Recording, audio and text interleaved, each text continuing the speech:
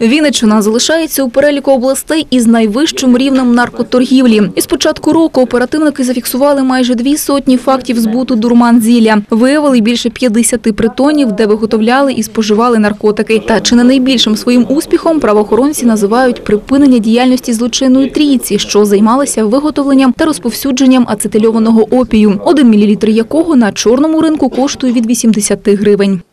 Зовсім недавно, в лютому місяці, е, працівниками БНОН була виявлена організована злочинна група, яка діяла на території Вінницької області і займалася виготовленням і розповсюдженням наркотичних засобів.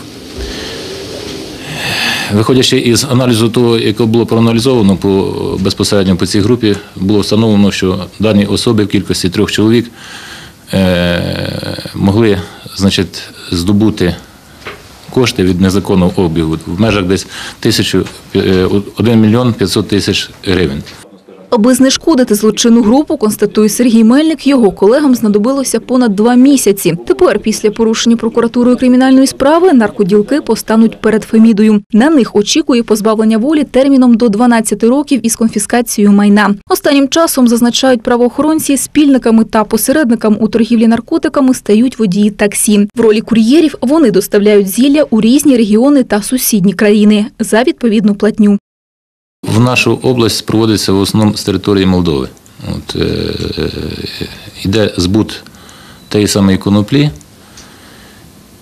амфетаміну, який був задокументований на території працівниками міліції е, значить, Могилів-Подільського і Ямпільського району. Таких каналів у нас було виявлено е, три в цьому році і два контрольованих постачання. Тобто контрольоване постачання безпосередньо ввоз наркотиків ціленаправлено в якусь точку міста Вінниці чи Вінницької області.